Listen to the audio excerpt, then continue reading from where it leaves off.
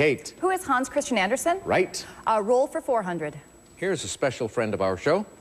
Hi, I'm Sam Waterston. I'm a huge fan of this American president, and I've been lucky enough to play him on Broadway and in a TV miniseries. Karen, Who is Abraham Lincoln? you are correct. Roll 600.